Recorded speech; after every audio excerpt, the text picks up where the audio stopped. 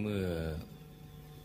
เราได้สวดมนต์บูชาพระรัตนตรัยกันเสร็จเรียบร้อยแล้ว ต่อจากนี้ไป ตั้งใจให้แน่แน่ว มุ่งตรงต้นทางพระนิพพานกัน ทุกๆคนนะลุงนะ ให้นั่งขัดสมาธิโดยเอาขาขวา ทับขาซ้าย มือขวา ทับมือซ้าย ให้นิ้วชี้ข้างมือข้างขวาจลดนิ้วหัวแม่มือข้างซ้าย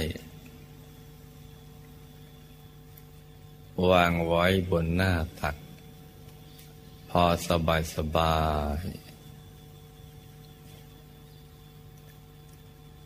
หลับตาของเราเบา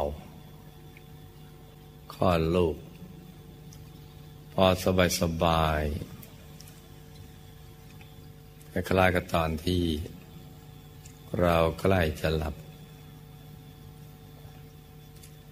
อย่าไปบีบเปลือกตา อย่ากดลูกในตานะจ๊ะ แล้วก็ทำใจของเราให้เบิกบาน ให้แช่มชื่น ให้สะอาดบริสุทธิ์ผ่องใส ไร้กังวลในทุกสิ่ง ไม่ว่าจะเป็นเรื่องอะไรก็ตาม ให้ปลดให้ปล่อยให้วาง ทำใจของเราให้มันว่างว่าง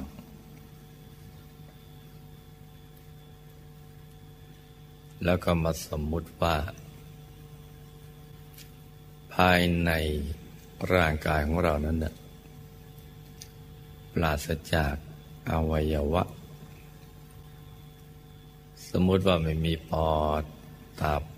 ม้ามไตหัวใจเป็นต้น ให้เป็นที่โล่งโล่งว่างเป็นปล่องเป็นช่อง เป็นโพรงเป็นที่โลงโล่งว่างว่างกลวงภายในคล้ายๆท่อแก้ว ท่อเพชรใสใส เป็นปล่องเป็นช่อง เป็นโพรง เป็นที่โล่งๆว่างๆกลวงภายใน คล้ายท่อแก้ว ท่อเพชรใสใส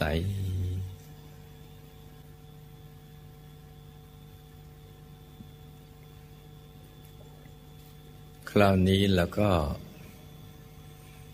นึกน้อมเอาภาพ องค์พระ และแก้วขาวใส ที่อยู่ในกลางดวงแก้ว ซึ่งเป็นภาพที่ปรากฏอยู่บนจอทีวี แต่ฉายให้เราดู ให้จำภาพ องค์พระกลางดวงแก้วนี้ไว้ให้ดีนะจ๊ะ แล้วก็น้อมมาตั้งเอาไว้ ที่ศูนย์กลางกาย ฐานที่เจ็ดซึ่งอยู่ในกลางท้องของเรา ในระดับที่เนื้อจากสะดือขึ้นมาสองนิ้วมือจำง่ายๆว่าอยู่ในกลางท้อง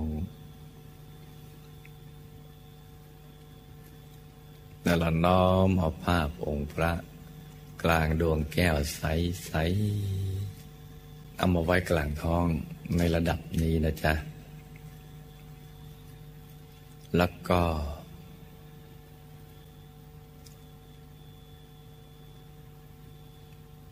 ทบทวนความจำของเราเอาไว้จำได้แค่ไหนก็เอาแค่นั้น จะใหญ่จะเล็กขนาดไหนก็แล้วแต่ใจเราชอบ ตั้งไว้ในกลางท้องกลางกายของเรา ให้ท่านหันหน้าออกไปทางเดียวกับตัวของเรานะจ๊ะ เพราะฉะนั้นลักษณะที่เราจะมองเห็น ก็เหมือนมองท็อปวิว คือมองจากด้านบน ลงไปด้านล่าง ซึ่งจะเป็นลักษณะขององค์พระ ที่ปรากฏภายใน ในตอนแรกๆก็จะมีลักษณะคล้ายๆอย่างนี้ คือเราจะเห็นแต่ด้านบนลงไปด้านล่าง อย่างนี้ไปก่อนในตอนแรกๆ ของจริงก็จะคล้ายๆอย่างนี้แหละ แต่ว่าถ้าเห็นเต็มส่วนแล้วก็จะเห็นได้รอบตัวรอบทิศ เหมือนเรามองอะไรปกติอย่างนั้น แต่ตอนแรกๆมันจะคล้ายๆอย่างนี้ แล้วก็จำอย่างนี้ไปก่อนนะจ๊ะจำภาพองค์พระกลางดวงแก้ว ที่กลางท้องหันหน้าออกไปทางเดียวกับเราคราวนี้เราก็เอาใจนะมาหยุดนิ่งๆ คือจับภาพ ขององค์พระไม่ให้คลาดจากใจ แต่ต้องอย่างสบายสบายอสบายเนี่ยเราจะรู้ด้วยตัวของเราเอง ว่ามันตึงไหมไหมหย่อนไปไหมร่างกายของเราเนี่ยระบบประสาทกล้ามเนื้อเราเนี่ยจะเป็นผู้บอก ถ้าหากว่ามันตึงเกินไปเนี่ยมันจะเกร็ง มันจะไม่สบายตัว เคี้ยวจะขมวด ท้องเกร็ง ไหลกระดกนิ้วยกขึ้นอะไรอย่างนั้น นั่นตึงไป แต่ถ้าย่อนหมายความว่า เราไม่ได้ตั้งใจนึกจริง ๆ ใจมันก็จะเลื่อยเปื่อยไปคิดเรื่องอื่น นั่นเรียกว่าย่อน ถ้าพอดีมันจะสบายทั้งกายและใจ คือเราจะมีความรู้สึกว่ามันไม่ยาก ในการที่จะนึก ถึงองค์พระหรือเอาใจจับภาพองค์พระ มันจะไม่ฟุ้งไปคิดเรื่องอื่น แล้วก็จะเห็นภาพทางใจ อยู่ภายในกลางกายของเรากลางท้อง ซึ่งบางท่านชัดมาก บางท่านชัดปานกลาง บางท่านชัดน้อยหน่อย แล้วแต่ความบริสุทธิ์ของใจ ความบริสุทธิ์ของกายและใจ ระบบประสาทกล้ามเนื้อจิตใจเรา ถ้าบริสุทธิ์มากมันก็ชัดเจนมาก บริสุทธิ์ปานกลางก็ชัดเจนปานกลาง บริสุทธิ์น้อยก็ชัดเจนน้อย หรือเราปล่อยวางอารมณ์ภายนอก ไม่ข้องเกี่ยวกับอะไรเลยในคนในสัตว์สิ่งของ ธุรกิจการงานการทำมาหากิน หรือเรื่องอะไรก็แล้ว แต่ที่นอกโดยจากนี้ ถ้าเราไม่ไปคล้องแวะ ไม่ไปเกี่ยวด้วย ใจเขาบริสุทธิ์ได้เร็วเข้า ภาพนิมิตมันก็จะชัดเจน แต่ถ้าใจเรายังหมกมุ่นพัวพันกับสิ่งเหล่านั้นอยู่ ใจก็บริสุทธิ์น้อย ก็ปล่อยทำให้การนึกถึงภาพ ไม่ค่อยจะชัดเจน ใครปล่อยได้ก่อน ก็จะนึกได้ชัดก่อน เพราะฉะนั้นตอนนี้เราจับภาพองค์พระเอาไว้ องค์พระกลางโดนแก้ว อย่างสบายสบายแล้วก็ใจหยุดนิ่ง ๆ จะประคองใจด้วยบริกรรมภาวนา สัมมาอรหังไปด้วยก็ได้ แต่เวลาภาวนาสัมมาอรหังใต้เสียงดังออกมาจากในกลางท้อง หรือกลางองค์พระ เป็นยังหวะที่พอดี ไม่ช้าไม่เร็วเกินไปอาจจะภาวนากี่ครั้งก็ได้ จนกว่าจะภาวนาหมดไปเลยนะ คือหมดความจำเป็นเกลี้ยงจากใจ ก็จะเหลือแต่ภาพองค์พระกลางดวงแก้วใสๆเพราะใจไม่อยากจะภาวนาต่อถ้าถึงตอนนี้เราก็รักษา ภาพองค์พระอย่างเดียว องค์พระกลางดวงแก้วอย่างเดียว ไม่ต้องย้อนกลับมาภาวนา สัมมาอรหังใหม่นะจ๊ะ มันก็ไม่ยากอะไร ในการที่จะประคองใจให้หยุดไอ้นิ่ง ค่อยๆฝึกฝนไป แล้วก็หมั่นสังเกตไป แค่ไหนมันจะพอดีไม่ตึงไม่หย่อน ให้สังเกตดู แล้วเดี๋ยวมันก็จะปรับได้เองแหละ ทั้งมันสังเกต เราก็จะพบเหตุแห่งการบกพร่องและช่องทาง แห่งความสำเร็จได้ สัมมาอรหัง สัมมาอรหัง สัมมาอรหังในเสียงดังออกมาจากกลางท้อง อย่างเบาๆ สบาย แล้วก็นึกถึงองค์พระ ซึ่งเป็นตัวแทนของพระสัมมาสัมพุทธเจ้า ทุกๆพระองค์เลย ยิ่งนึกยิ่งคิด จิตก็ยิ่งบริสุทธิ์เพิ่มขึ้น ใจก็ค่อยๆ ปราศจากมลทินค่อยๆ บริสุทธิ์เพิ่มขึ้น เพิ่มขึ้น เพิ่มขึ้นไปเรื่อยๆ ที่ต้องให้เอาใจนะมาหยุดมันนิ่ง อยู่ที่ศูนย์กลางกายฐานที่เจ็ดโดยการกำหนดบริกรรมในมิตเป็นภาพองค์พระกลางดวงแก้ว แล้วก็ภาวนาสัมมาอรหังนั้นนะก็เพราะว่าต้องการให้ใจเนี่ยกลับมาสู่ ฐานที่ตั้งดังเดิม ซึ่งอยู่ภายในตัวของเรา คือศูนย์กลางกายฐานที่เจ็ดณตรงนี้แหละ จะเป็นทางไปสู่อายตนะนิพพาน คือจะทำพระนิพพานในแจ้งจะต้องอาศัยจุดเริ่มต้น ที่ศูนย์กลางกายฐานที่เจ็ด เมื่อเรารู้ว่าเราเกิดมาทำพระนิพพานให้แจ้ง ก็จะต้องเริ่มให้มันถูกต้องซะก่อน เริ่มให้มันถูกต้อง แล้วเดี๋ยวจะคล่องตลอดเส้นทางทีเดียวแหละเนี่ยอาใจนะกลับมาหยุดมันนิ่ง เพราะปกติของใจเรา มันถูกดึงเอาไปใช้ข้างนอก ตลอดเวลาเลย ทั้งตื่นทั้งหลับทั้งฝัน ออกไปทางตาหมั่งทางหูทางจมูกทางลิ้นทางกายทางใจ ไปในเรื่องราว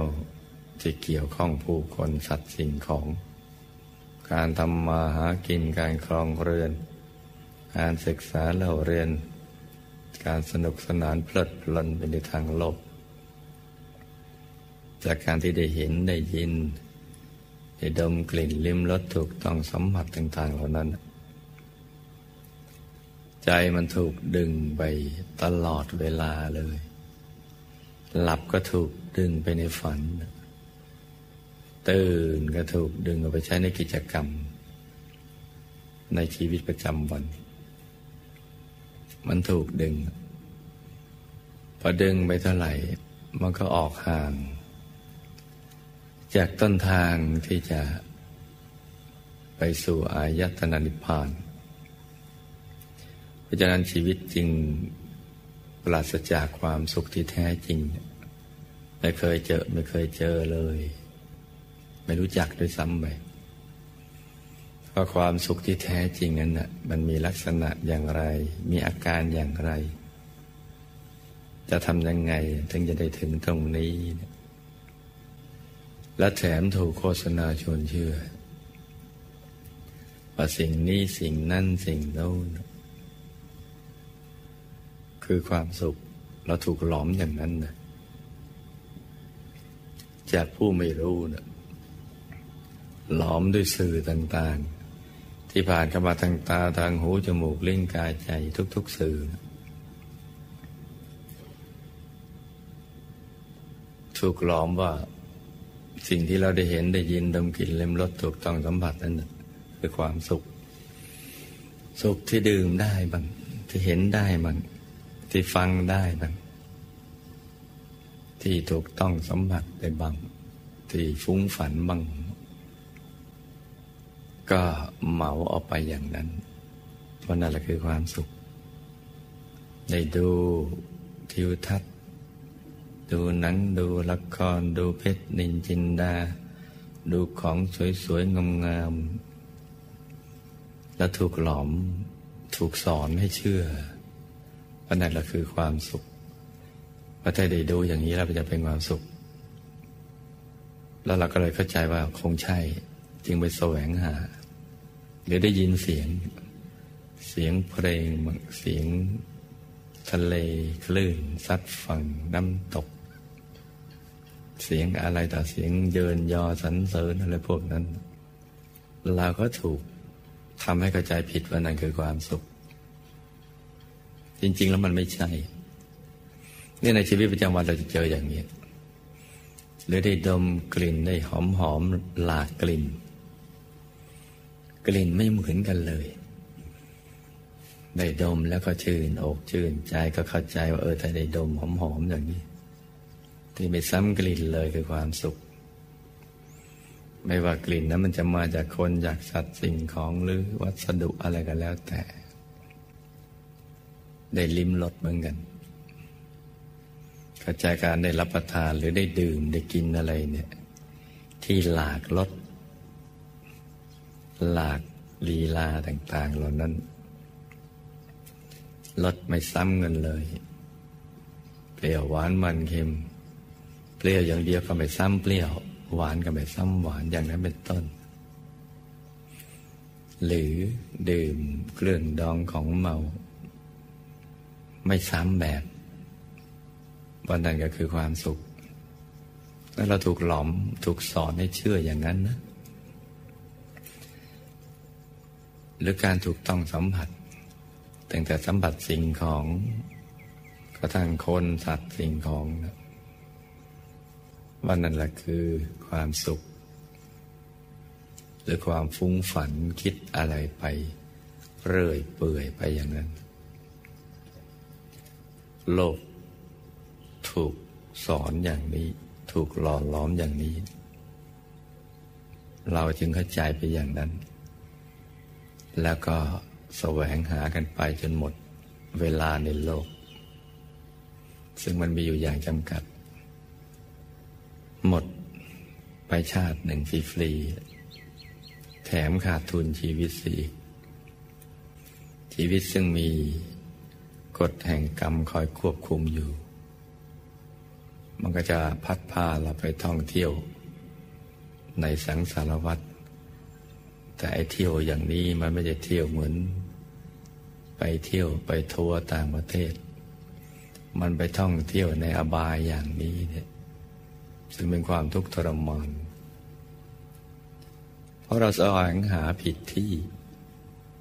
เราไม่รู้จักหรอก ความสุขที่แท้จริงเป็นอย่างไร จนกว่าจะมาเจอผู้รู้หรือคำสอนของผู้รู้นะที่ท่านก็ได้ผ่านชีวิตมาทุกระดับแล้ว จากสูงมาต่ำจากต่ำไปสูง เป็นตั้งแต่ พระเจ้าจากักรพรรดิพระราชามหากษัตริย์เศรษฐีมหาเศรษฐี ถึงญาจบวันิพกผ่านนรกผ่านสวรรค์ผ่านมาหมดแล้วนะแล้วก็ท่านก็แสวงหาทางบนทุกจนไปพบความสุขที่แท้จริง และสรุปได้ว่า นัตติสันติปรังสุขขัง สุขอื่นนอกจากหยุดจากนิ่งแล้วไม่มี สุขที่เกิดจากใจวิ่งไปอย่างนั้นเนี่ยไม่เจอหรอกมันต้องเจอจากใจนิ่ง ใจหยุดใจนิ่ง หยุดเมื่อไหร่เราถึงจะรู้จักความสุขถ้าเราหยุดเดี๋ยวนี้ เราก็จะได้รู้จักเดี๋ยวนี้ และก็จะเห็นความแตกต่าง จากสิ่งที่เราเคยเข้าใจว่าใช่ ว่าใช่เลยนะปรากฏว่ามันไม่ใช่เลย แล้วก็มาเจอใหม่ที่หยุดนิ่งล้วถึงจะยอมรอนี่ใช่เลย ต้องอย่างนี้ ผิดจากนี้ไม่ใช่นี่ละนัตติสันติปรังสุขขัง สุขอื่นนอกจากหยุดจากนิ่ง ไม่มี ใครผ่านชีวิตผ่านร้อนผ่านหนาว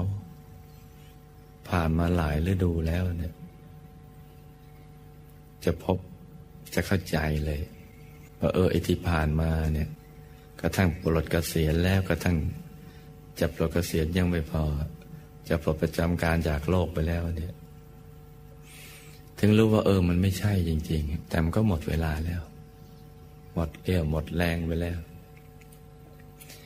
เพราะฉะนั้นผู้รู้คือพระสัมมาสัมพุทธเจ้า พระอรหันต์ทั้งหลาย สรุปรวมกันเลย ว่าต้องหยุดนิ่ง นัตติสันติปรังสุขขัง สุขอื่นนอกจากหยุดจากนิ่งไม่มี และสุขที่ที่ยิ่งแท้ถาวร เป็นบรมสุขท่านก็ยกมาอีกว่านิพพานังปรมังสุขขัง พระนิพพานเป็นบรมสุข คือมันมีสุขธรรมดา สุขขั้นกลาง สุขอย่างยิ่ง คือบรมสุข บรมสุข สุขธรรมดาก็คือ ผู้ที่มีความพร้อมในโลกมนุษย์ แต่มันธรรมดา เดี๋ยวมันก็เปลี่ยนไปเปลี่ยนมา เป็นพระเจ้าจักรพรรดินั่นก็เรียกว่าสุขธรรมดาแต่สุขปานกลางอนนสุขในสวรรค์อย่างนั้นหรือสุขในฌานสมาบัติ แต่มันก็ยังไม่มั่นคง เพราะมันยังหยุดไม่สนิท มันยังมีกิเลสอสวรรค์เหนียวลังออกมา เดี๋ยวก็หลุดจากสวรรค์ เดี๋ยวก็หลุดจากฌานพอหลุดออกมามันก็ไม่มั่นคง หลุดออกมาก็เจอทุกข์อีกแล้วต้องบรมสุขคือนิพพาน มันไม่มีอะไรเหนียวลังออกมาแล้วเราหมดจาก โลภโทสะโมหะกิเลสอาสวะ มันหมดสิ้นไป ผู้รู้เนี่ยท่านก็จะบอกอย่างนี้แหละนัตถิสันติปรังสุขขัง นิพพานเป็นบรมสุข นิพพานเป็นบรมสุข นิพพานเป็นเยี่ยม นี่ท่านยืนยันอย่างนั้น ราะฉะนั้นเราเกิดมาเนี่ยเรามาทำพระนิพพานให้แจ้ง หมายถึงนิพพานนั้นมันมีอยู่แล้ว แต่ถูกกิเลสอาสวะนั่นน่ะมันมาบดบัง บังดวงปัญญาของเราไม่ให้ไปรู้ไปเห็น หลับตาแล้วมันมืด มืดก็มองไม่เห็น ไม่เห็นก็ไม่รู้ ไม่รู้ก็ไม่เชื่อ มันเป็นอย่างนั้น เพราะฉะนั้นเบื้องต้นนี่แหละ เราจริงต้องฝึกให้มันหยุดให้มันนิ่ง ที่ศูนย์กลางกายฐานที่เจ็ดให้มันถูกต้นทางซะก่อน โดยจะมีนิมิตหมายเกิดขึ้นมาว่าถูกแล้วคือ เวลาใจมันหยุดนิ่งได้ถูกส่วน มันจะตกศูนย์วุบลงไป เหมือนหล่นลงไป แล้วก็จะมีดวงธรรมลอยขึ้นมา คือจะเห็นดวงธรรมลอยขึ้นมา เป็นดวงใส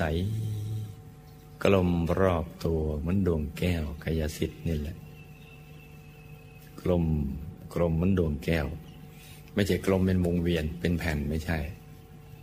กลมๆแหละดวงมันจะใส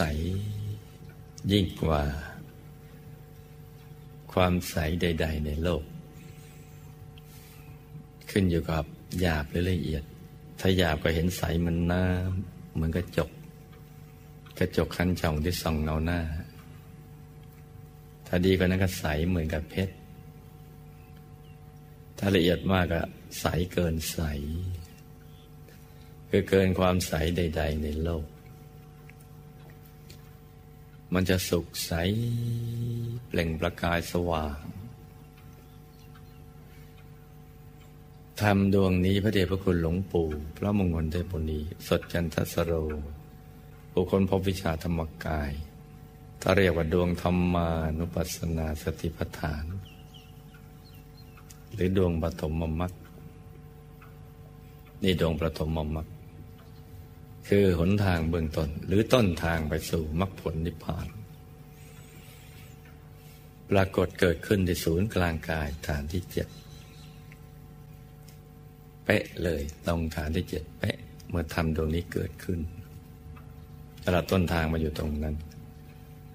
ถ้าทำดวงนี้เกิดขึ้นได้ก็ยืนยันได้เลย ว่าต้องไปถูกทาง ต้องไปสู่อายตนะนิพพานหรือทำพระนิพพานให้แจ้งได้เนี่ยทำดวงนี้ปรากฏ จะใสจำได้เดียวอยู่ในกลาง ฐานที่เจ็ดเลย สุขใส แล้วก็จะเห็นทางไปสู่ สู่นิพพานอยู่ในกลางดวงนั้น มันจะมีจุดศูนย์กลาง ซึ่งเป็นจุดที่ใสใส ใสก็ดวงธรรม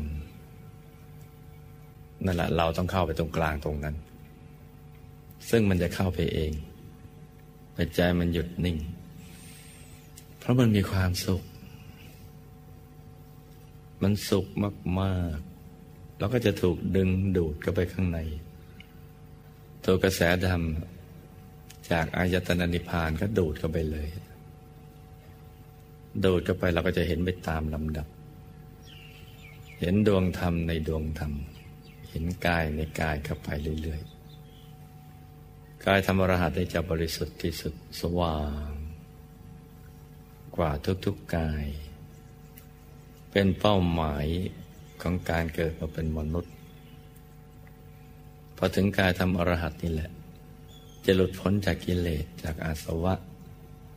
จากกฎแห่งกรรม จากภพทั้งสามจากกฎของไตรลักษณ์ไม่เที่ยงเป็นทุกข์เป็นอนัตตา หลุดหมดเลยในกายธรรมอรหัตจึงเป็นเป้าหมาย หน้าตักยี่สิบวาสูงยี่สิบวาทั้งหมดนี้แหละมีอยู่ในกายมนุษย์ทุกทุกคนในโลก แต่ก็ไม่รู้กันนะว่ามี กับไม่เฉลียวใจว่ามีเราไม่เคยได้ยินได้ฟังเรื่องราวของกายในกาย ไอ้ที่ไม่ได้ยินได้ฟัง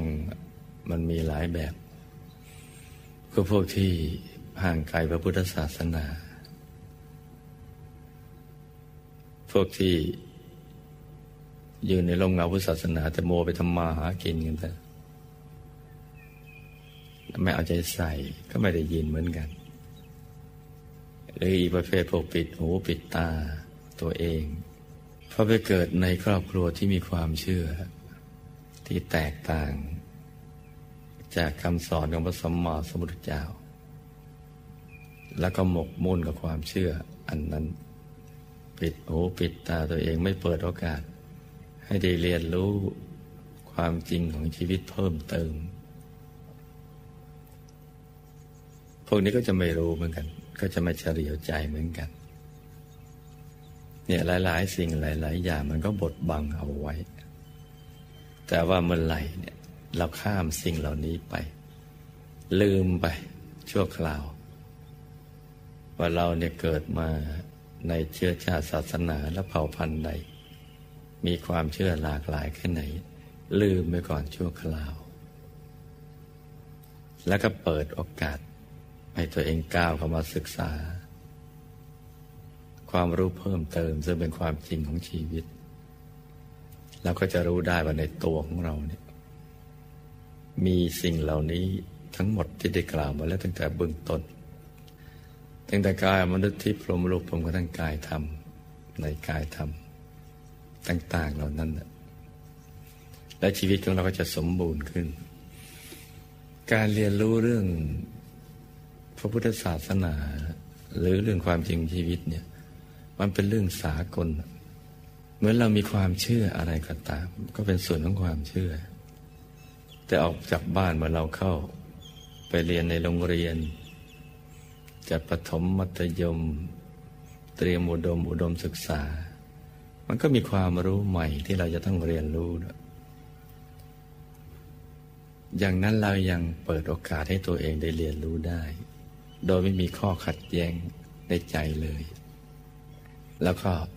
ได้รับความรู้เพิ่มเติม แต่รู้เรื่องราวอะไรต่างๆในโลกนี้ ที่ถ้าหากทุกคนในโลกทำอย่างนี้แหละคือเปิดโอกาสให้ตัวเองได้มาเรียนรู้ได้กว้างขวางขึ้น ความรู้ของเราก็จะสมบูรณ์ขึ้น การศึกษาหรือการแสวงหาความรู้เนี่ยมันเป็นสิทธิเสรีภาพของมวลมนุษยชาติ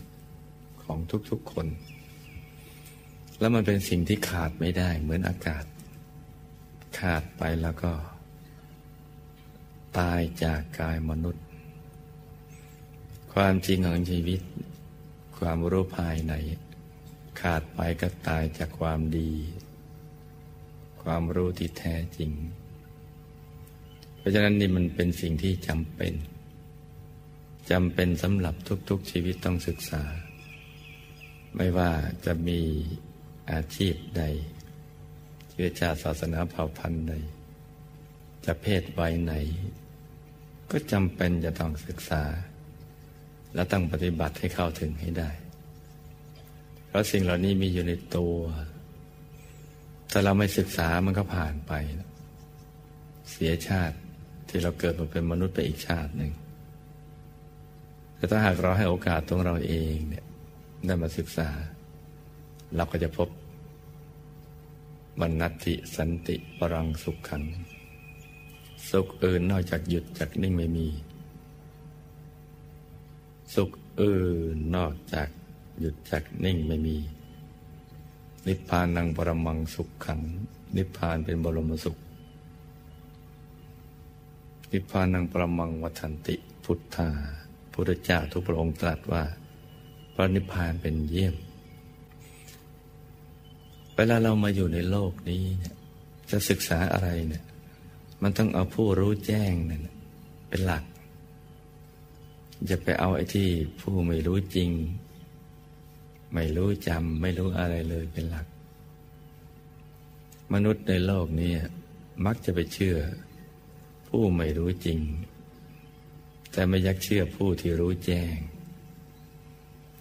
ชีวิตของเราเนี่ยจึงไม่พบกับความสุข ที่แท้จริง จึงมีแต่ความทุกข์ทรมานไม่ว่าจะเป็นเศรษฐีชนชั้นกลางหรือชนชั้นล่าง ต่างก็มีความทุกข์เป็นของตัวเองไม่ใช่ว่าทรัพย์สินเงินทอง มันจะให้เราได้ทุกสิ่งทุกอย่าง มันให้ได้บางอย่าง แต่บางอย่างมันก็ให้ไม่ได้ เพราะนั้นเนี่ยหยุดกันนิ่งนี้ เราสามารถทำเข้าถึงได้ ด้วยกำลังแห่งความเพียร แล้วก็กำลังแห่งดวงปัญญาของเรา ที่จะทำให้มันถูกหลักวิชาก็เราเกิดมาเพื่อการนี้นะลูกนะ เพื่อที่จะมาแสวงหา รัตนตรัยในตัว ที่จะนำไปสู่การทำพระนิพพานให้แจ้งต่อจากนี้ไปเวลาที่เหลืออยู่นี้เนี่ย อากาศกำลังสดชื่น เบิกบานกำลังบุญของลูกก็มีความพร้อม ที่จะเข้าถึงธรรมแล้ว หลักวิชาแล้วก็เข้าใจกันได้อย่างดีเหลือแต่กำลังแห่งความเพียรเช้านี้ให้ลูกทุกคน สมหวังดังใจในการเข้าถึงพระรัตนตรัยในตัว ทุกๆคนนะลูกนะ ต่างคนต่างนั่งกันไปเงียบๆนะจ๊ะ